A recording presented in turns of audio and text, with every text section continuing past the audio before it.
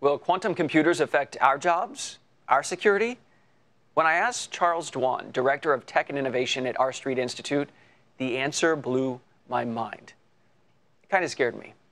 Charles, quantum computing, we know is exciting, but even more than that, it's confusing for a lot of us. So, the basics in your mind of what quantum computing is and what it's useful for, could you give me the basics? Yeah, of course. So, you know, I've got two kids. Um, I got two boys. They're kind of a handful. And the way I like to think about quantum computing is what I wish I could be as a parent in every place at the same time. the real thing about quantum computing is that, you know, normally when you have a computer, it can do one task at a time. The advantage of quantum computing is that each of the bits in the computer, instead of just being set to one or zero, it can be set to both of them at the same time, which means that the computer can essentially do multiple things at the same time. Once you start multiplying up all of the bits, that means can be doing thousands or millions or billions of operations in one step that a single computer, that a normal computer would have taken many more steps.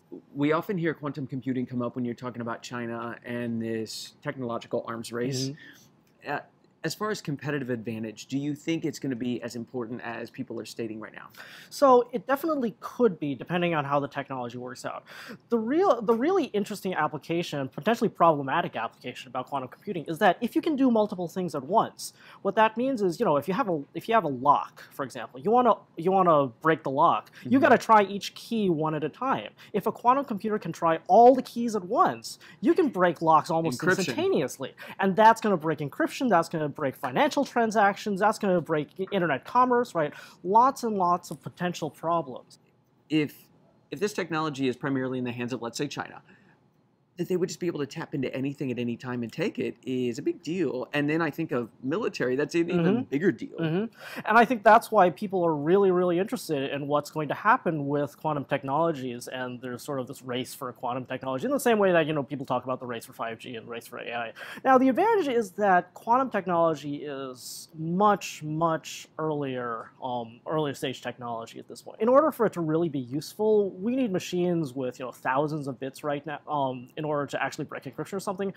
Right now, the research is barely breaking 100 bits. So we've got a we've got a ways to go. And the problem is it's a very difficult thing to do. In order to get a quantum computer to work, you have to get it really really cold, like almost absolute zero.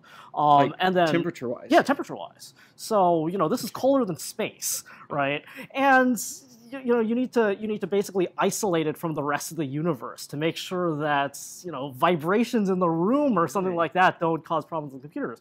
So this is a very difficult problem that a lot of physicists are working on, but it means that I think we're still a pretty good ways away from you know the sort of doomsday scenarios that people have brought up could we one day have quantum computers in our homes, or is this really something that only businesses and the government will need? So it's hard to say, but I think the important thing to remember is that there was also a time when we thought that computers were going to be things that businesses only need, right? We would just have these big mainframes, and you know, at home, like who would need this sort of thing? Yeah. The thing is that you don't know what sort of applications technologies will bring along with them, and when a technology like quantum computing comes along, you know, there will obviously be a lot of things that we have to deal with, including the encryption issue, but we'll probably also discover discover some really interesting applications for it, which may end up having really important consumer benefits. Wow. So, you know, I mean, I can't I can't predict what that is, but I'm certainly excited for the future.